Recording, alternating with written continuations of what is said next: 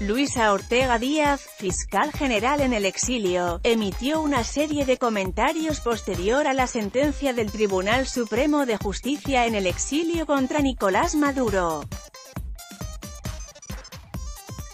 Maduro fue sentenciado a 18 años de prisión este miércoles por delitos de corrupción ligados al caso Odebrecht. A propósito de la resolución, la fiscal resaltó que es la primera de muchas sentencias contra el mandatario venezolano, entre las que se encuentran pendientes crímenes de lesa humanidad. Quiero que sepan todos los venezolanos que esta es la primera sentencia.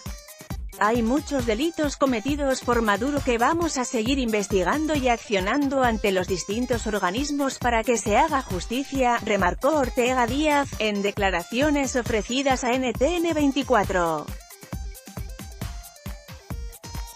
De igual forma, destacó que esta medida es el primer paso para que Maduro rinda cuentas con la justicia y se logre producir un quiebre de la tiranía.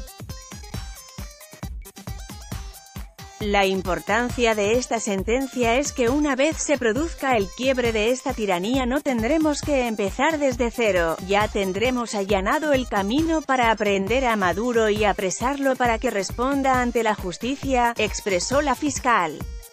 Ortega dijo que se debe oficiar a los demás gobiernos para deslegitimar a Nicolás Maduro, a quien calificó como un usurpador del poder, exhortó a las fuerzas de seguridad del Estado a cumplir con la medida parlamentaria y detener al mandatario.